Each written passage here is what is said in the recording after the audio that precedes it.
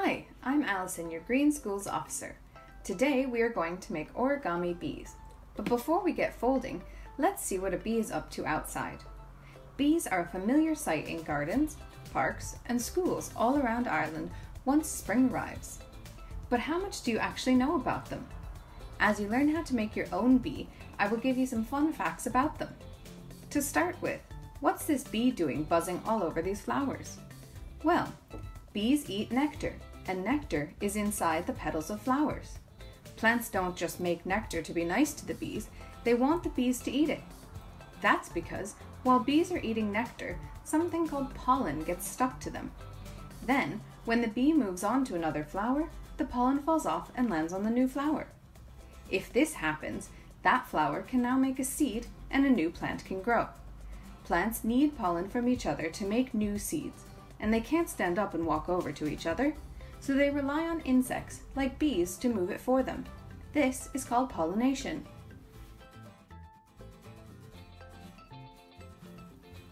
What we're going to need for our bee origami is we're going to need a square piece of paper. Ideally, this square piece of paper has a white side and a colored side.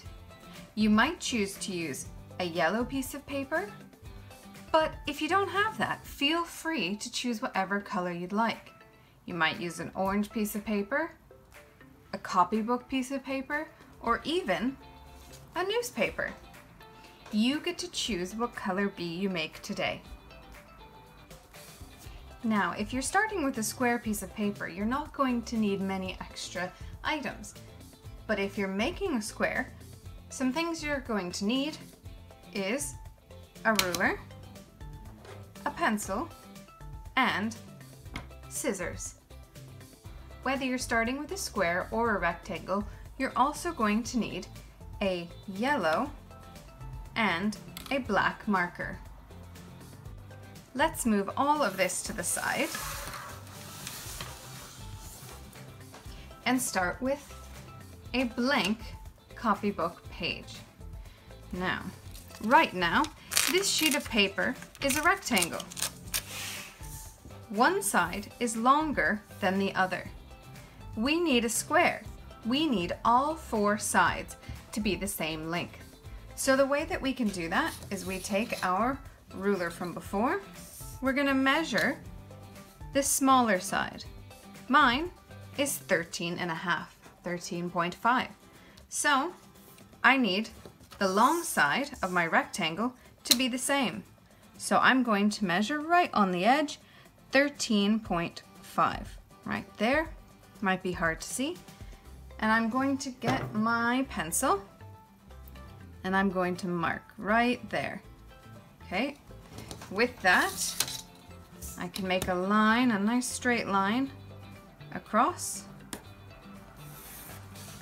And with the scissors or help from an adult, I'm gonna cut a nice straight line across. So now I have all four sides the same length. So I have my square. If you're using a recycled piece of paper with a cool design on it, maybe like the newspaper, you can see I have the blue here and then the writing and a tree. Now is the time to decide what you want on the wings and on the head and back. All right, so if you look at this piece of paper here, the yellow, so you can see we have our yellow and black bee stripes here, and we have a black triangle here. So I know that these, this is the back and this is the head. All right. Then if I flip over the page, here is all white. So somewhere in here, we're gonna fold up and we're going to get our wings. Okay. So now is the time to decide which one is gonna be the wing design and which one's going to be the head and back design. Okay, I'm gonna stick with this yellow piece of paper with the lines and the head, but you decide now which design you want on which side. Don't worry about coloring the stripes or the black yet, we'll do that in a second. While you're choosing your bee's color, let's check back outside to see what's buzzing around. It's easy to get bees mixed up with other insects like wasps. Both buzz around flowers and often have black and yellow markings. Some bees are long and slender, which is the same shape as a wasp. This can be a bit confusing. The easiest way to tell if something is a bee is if it has hair. Bees always have what looks like fur or hair. Wasps don't. That's simple. Let's clear our workspace a bit. Now, we have our color side up. So the very first thing you're going to do is you're going to flip over to the white side, the side that's going to be your wings. Now, we're going to fold in diagonals. So we're going to go corner to corner, corner to corner. Okay, folding. And this is a good test to see if you have a square because we have our two triangles. Okay, so we have that fold and then corner to corner for the other diagonal. Perfect. Okay, and now that is open. The next step that we're going to do is we're going to take our two corners and we're going to bring them into the middle. Folding over into the middle, press down, folding over into the middle and press down. Okay. The next step is we need to get these stripes and this black on our paper. I already have these on here, but if you don't, what we're going to do is we're going to open up to our colored side and color this whole triangle that we just unfolded. See, it's folded there. Color that black. And then this side that we unfolded, we have our bee stripes. So why don't you get coloring that with your black marker. When you're using your black marker, make sure you're minding the edge. Maybe put a piece of paper underneath so that way you're not coloring onto the table. After you're done coloring, it might be a bit wet, so just wait for a few minutes until it dries. You don't want black fingers at the end. While you color in your bee's head and stripes, let's talk about the different types of bees. Did you know there are 98 different types of bees in Ireland? Bees come in all sorts of shapes, sizes, and even colors. We can split them into three different groups bumblebees, honeybees, and solitary bees. Bumblebees are the type you probably see the most. They are round and hairy all over, just like the one we saw at the beginning of the video. There are 21 native species of bumblebee in Ireland. They are usually yellow or orange and black. You can tell bumblebees apart by two things the color of their tails and the number of stripes they have. Honeybees, like the one we saw with the blue flowers on the rosemary shrub, are the only type of bee that make honey. They can look like wasps since they are long and thin, but remember honeybees have hair.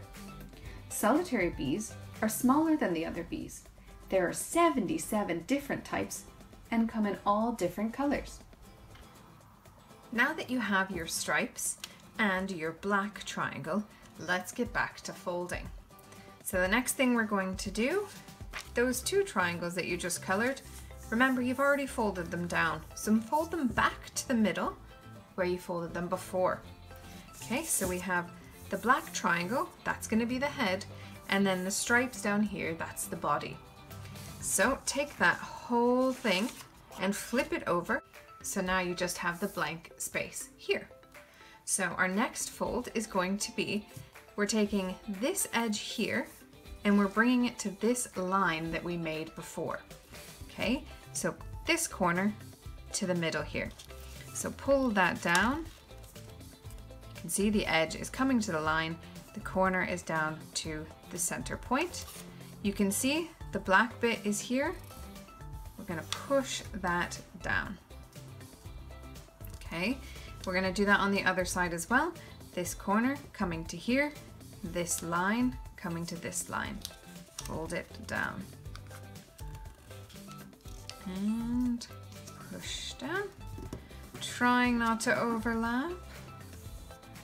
All right, so now we have a square and two rectangles. Have you ever heard the term queen bee? Both honeybees and bumblebees start off with a queen bee. She is the mother of all the other bees. She builds a nest for her colony and lays eggs. Female bees are workers and male bees are drones. The female workers do all the work of keeping the nest clean and finding food. Okay, our next step that we're going to do is we're going to flip our work over. Okay, so you can see the stripes and a black square here. So this is going to end up being the head. Now, do you see this line down the middle here? We're going to use that line to fold upwards. Okay, so we're going to take this side and fold it up. But we're not folding it all the way flat. We're actually going to fold kind of similar to how we did before. So we're pushing this up here and you see this line? We're going to pull that down so it's straight here, pulling this edge to the middle, okay? Let's see if we can do that. So this edge to the middle, this corner to this corner pulling down and trying not to go over that center line. So it kind of looks similar to what we did on the other side. We have the white here and then the middle color. It's the same thing, this corner to this corner, this edge to the middle. Okay, folding over and push down. Great. Honeybees have a special way to tell each other how to find the best flowers to eat. They will do a dance in the beehive that gives directions to the other workers to follow. This is called a waggle dance, and it is the bees' version of Google Maps. Next thing we're going to work on is we are going to work on the wings. So this flap that's up here, pull that back down and then push that down again. Okay, so you can see the black and you can see the stripes. These two triangles here, they're going to become our wings. Now the wings aren't super pointy on our finished bee. See how they're flat? So we're going to make them flat here. So how we're going to do that is we're going to take the end here, fold it up, push down. On the other side, fold it up and push it down. Now this one's a bit tricky. Open that fold back up, open up the big triangle, and then push that inside. Okay, it's a bit tricky, you see it's going in just like that. Okay, and then you fold it down. So that way you don't see this extra little triangle. You see that on all the wings? Okay, so let's try it again on this side. So that fold that I made before, I'm pulling it up I'm opening this up, opening the wing, and then pushing the triangle inside out almost, so it's hidden underneath. Okay, so there we have it. The two sides are pushed in. Now give that a go.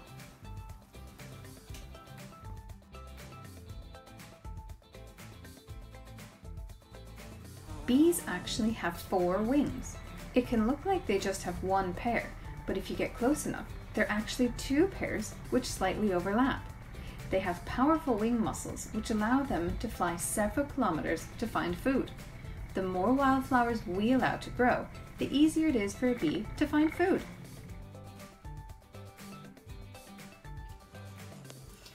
All right, so we have our two wings, the body and the head. Now this next step is what we're going to do to fold the wings over the back. So you can see that this lifts up just like this. So we're actually going to work underneath this part, okay? So you can see we did something underneath the head over here. I'm gonna put him aside. You can move this whole line here, this whole edge, back and forth underneath the square that's his head. So lifting that head up, you can see underneath, you're going to pull this whole edge over and you're gonna meet in this center line. The point is pointing you to the center line, so you can use that as a guide. Folding it over, try not to go over that center line. Okay, you can see underneath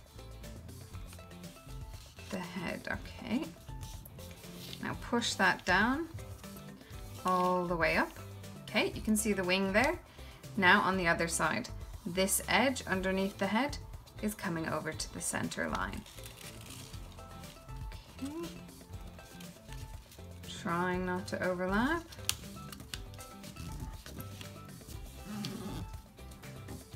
Perfect, okay. Now we don't really need to see under there anymore, so you can push down the black head.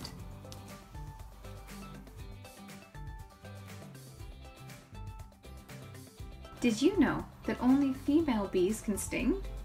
Males do not have a stinger at all. If a honeybee stings you, it will die because its stinger is shaped in a way that makes it get stuck in your skin and falls off the bee. Bumblebees can sting more than once, but all bees are usually very gentle and only sting if they're protecting their nest or they're afraid. Our next step is we're going to flip over the bee. You can see the back of the head here, so this might be a little bit closer there. Looks like I may have folded out a tiny bit, but as long as you have some black here, maybe it's all black because the sides are together. So the edges are what we're going to focus on right now. They kind of are like little ears almost. So what we need to do is we need to actually fold these two corners in and then we're going to fold them back out. So we're to crimp them a bit. So that might be a bit confusing, but let's start with folding in. So let's fold this side in and then let's fold this side in. Okay, so that's folded in. Now the next step, we're gonna take just a bit of this and fold it back out. Not the whole way, just maybe half of the triangle, we're gonna fold back out. Do you see that? Just a little point is sticking back out. Okay, and on the same, same deal on the other side here. Same thing. So we've crimped it back out, not the whole triangle. Okay, let's see what it looks like. Yep, there's two little ones there. All right, then we're going to make his nose. So let's fold over this whole triangle up here, not the two triangles we just made, just the whole triangle up at the end. Okay, fold that flat, but he doesn't have a, a flat head there, so we're gonna do the same thing like we did on the sides and just fold a bit of the triangle back. Okay so we can see his little nose there. All right, let's check. There we go. So you have the nose and the two little sides there. So you can leave him like this, but I kind of want to see a bit more of the stripes. So what I do is I fold just here so I can see a bit more. But if you look underneath the wing there, the color doesn't go the whole way up. So you have to be a bit careful with this. So I'm gonna hold my finger where I know the colors are stopping and fold in. Okay, there we go. I get to see a bit more of the stripes now. Okay, do you see the difference between the two wings? And I like it because it kind of sticks up a bit, so it looks like he's about to go for a fly.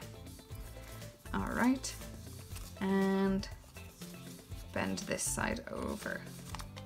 They might not match. That's all right. Okay, now you can see both wings are ready to go fly and they are finished.